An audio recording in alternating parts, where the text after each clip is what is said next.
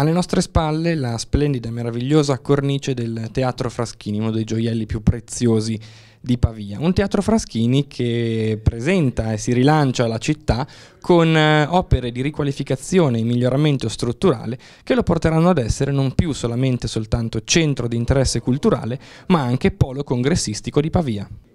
Sindaco Alessandro Cattaneo, eh, importanti lavori eh, di innovazione al Teatro Fraschini, un comune che crede sempre di più in questo gioiello della città. Il Teatro Fraschini lo conosciamo tutti come eh, baricentro culturale delle attività cittadine, però da oggi lo vogliamo far conoscere anche come un luogo dove è possibile fare convegni prestigiosi, momenti di incontro importanti, che lo vogliamo offrire a tutte le istituzioni della città e anche a tutti i privati che possono avere bisogno di affittare una struttura come questa. Mancava qualcosa per riuscire ad essere competitivi, offrire ad aziende, a istituzioni ciò di cui avevano bisogno e per questo abbiamo fatto grossi lavori di infrastrutture.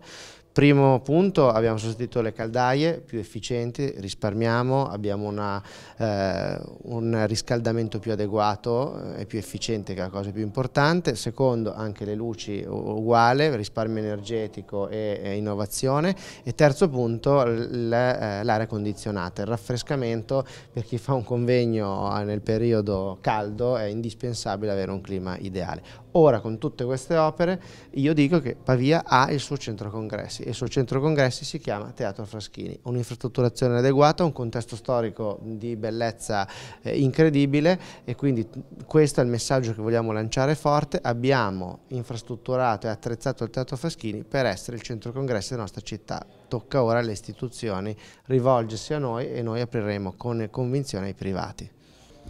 Professor Graziano Leonardelli, presidente vicario del Teatro Fraschini, un Teatro Fraschini che con questi importanti lavori si propone, si rilancia, oltre che come eh, centro culturale, anche come polo di interesse per la città tutta. Beh, io ho sempre pensato che il fulcro dell'attività culturale, accanto ovviamente del Comune di Pavia, accanto ovviamente al sistema museale del Castello Visconteo, fosse proprio il Teatro Fraschini. Il Teatro Fraschini aveva bisogno di interventi strutturali di ammodernamento anche per contenere eh, la quantità di spesa eh, corrente e eh, a questo punto tramite il finanziamento del comune e finanziamenti diretti da parte della Fondazione Teatro Fraschini nell'ultimo anno abbiamo fatto due interventi che ritengo eh, diciamo, importanti. Il primo è il abbiamo cambiato le caldaie che erano ormai obsolete e al limite del fuorilegge,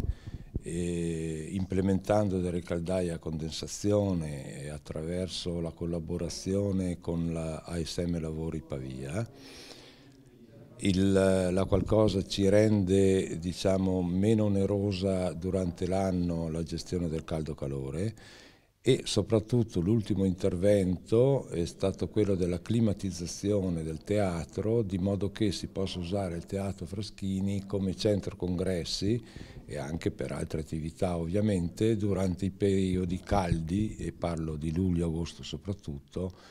eh, perché a Pavia come si sa c'è un, eh, un'umidità durante i mesi estivi piuttosto alta e il Teatro Fraschini era perfettamente chiuso durante tutto luglio e tutto agosto. A questo punto, con questi interventi,